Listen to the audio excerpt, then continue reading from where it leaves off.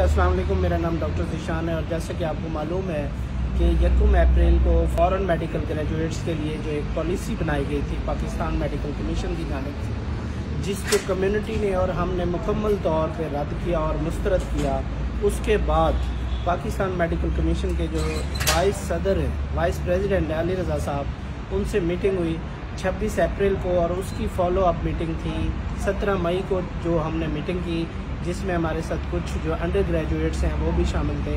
उसका जो एक नोटिफिकेशन आना था, आज वो ये आया है कि जो 2022 के ग्रेजुएट हैं फिल फॉर उनको एग्जेप्ट कर गया कर दिया गया है इस पॉलिसी से।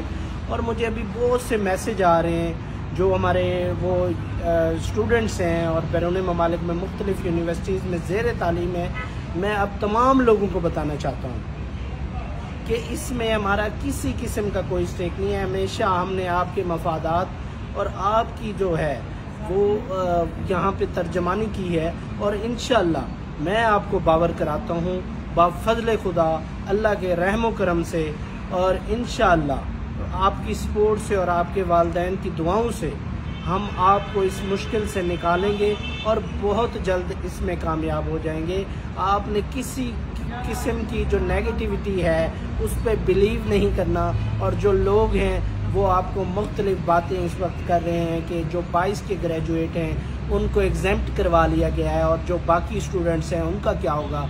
लिहाजा मैं आप तमाम स्टूडेंट्स को बताना चाहता हूँ कि बिल्कुल रिलैक्स रहें। जब तक हम यहाँ पे हैं, हम काम कर रहे हैं इन मसाइल जो हैं, बहुत जल्द ख़त्म होंगे और हमारी मुकम्मल तौर पे सपोर्ट अपनी कम्युनिटी के साथ है और इन जैसे ही पीएमसी हो पीएमडीसी हो नेशनल हेल्थ मिनिस्ट्री हो नेशनल हेल्थ स्टैंडिंग कमेटी हो हम हर जगह पे जाने के लिए आपके लिए तैयार हैं और हम आपको बता देना चाहते हैं, जो स्टूडेंट्स हमारे इनरोल्ड हैं, हम उनके हकूक़ की जंग लड़ेंगे और उनके लिए जितनी भी आसानियाँ पैदा की जा सकती हैं, वो ज़रूर होगी।